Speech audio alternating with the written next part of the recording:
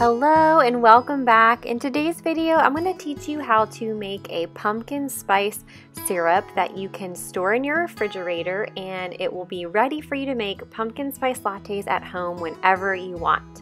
The best part about this is that it doesn't have any refined sugar or dyes or preservatives. We use all whole food, real ingredients.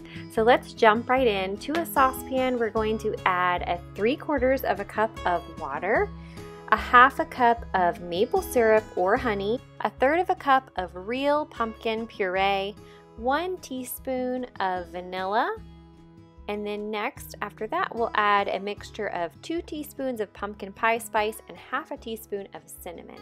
Give that a little stir and put it on the stove top on medium heat until the everything just kind of mixes together and there's no more clumps or anything in it.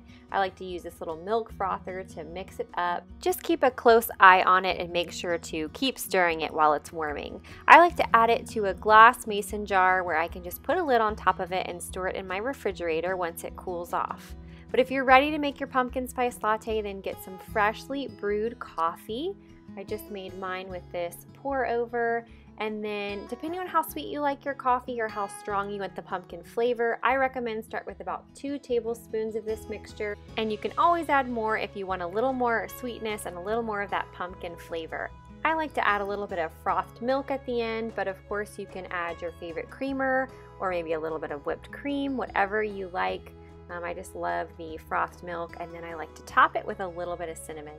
This recipe will keep in the fridge for four to five days. I hope you enjoyed it. I hope you'll give it a try at home. Thanks so much for watching. I'll see you next time. Bye.